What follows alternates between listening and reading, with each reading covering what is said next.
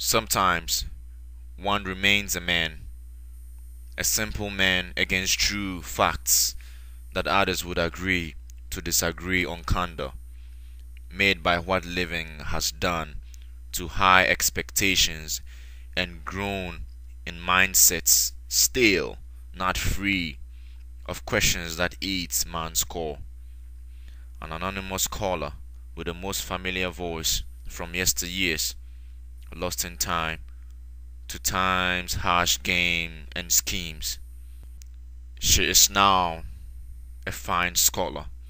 Acumen, her topmost choice, had paid her so in her prime. At 4:44 p.m., she tries to get hold of me in desperate ambitions to see if married men could catch old flames and still live life.